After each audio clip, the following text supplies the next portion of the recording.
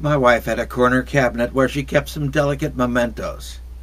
In order to protect these, she moved a box of books in front of the cabinet so that nobody could get near to it without first moving the books. My first notice of this was when I backed into the unexpected box, tripping on it. I had to reach out my hand to keep from falling in. There was the cabinet.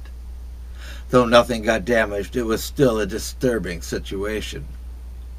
We are often our own worst enemy. We put forth time and energy trying to accomplish some end result without any coherent understanding of the needs of the situation. We cannot fully address the protection of those mementos. There was no accomplishment, as the intended protection failed. Her efforts were not successful. She committed time and effort to a valued purpose, but the valued result was not attained. What we can address is the general observation that most performance improvement comes from ceasing to do things that work poorly or not at all. In this case, my wife's efforts were ineffective. If she had done nothing, the cabinet would have been better protected.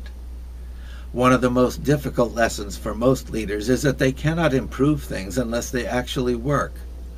We spend much time and effort trying to improve existing processes that do not yield value. The real improvement would come from ceasing to do ineffective things so that we can spend time and attention doing the things that do work. Consider the simple question of the origins of man and the continuing furor over teaching this as scientific truth. Consider again that there are no experiments to be run. There is no future application to predict. Consider that it took a jury trial to find this truth, that we teach as scientific truth what was determined by agreement among people. That what kind of science is that? It is distraction, not education. Learning that one or the other theories are true is not going to contribute to your becoming an effective adult. It is distraction, something to be put into the black box, out of sight and no longer to even be considered. There are things that will help you to be effective, and this is where you should be focusing your time and energy. There are things like math to help you learn precision in thinking. There is real science with ability to predict what will happen in situations so that you can be effective in planning. There are lessons in art and music, lessons in communication, lessons in geography and history to help give you useful perspectives and indirect experience. The more of your time and effort you expend on unproductive lessons, the less you have available for the lessons that will increase your ability as an educated adult. So, where do these directions come from? The answer is that they come from past education where truth is considered more valuable than the student. It comes from justifications based on the good of the public, without even realizing that the public are the parents that's right, our public is made up of parents, past, present, and future. There is no other public.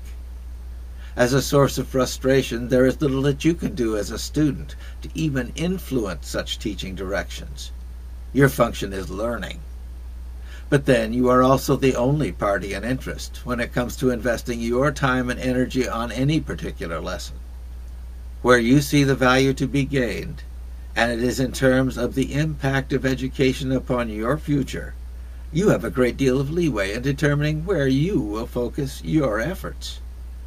You can decide to direct your time and effort to those things that will most certainly impact upon your future. You can decide to just get along on the lessons of lesser import, doing what you have to do in order to honor those who would make your decisions for you. The win win scenario comes about when you minimize the time and effort you expend on learning lessons that are ineffective, so you can focus more fully on where your future will see the greatest benefit. This all comes to center on you as the one real party in interest. Your parents may be customers of the educational process, but you are the one who is active, the one who puts forth the time and effort in learning and the only one who receives the direct benefit of education. If it does not benefit you, it benefits nobody. If it does not make you more valuable, then it fails to meet any public purpose.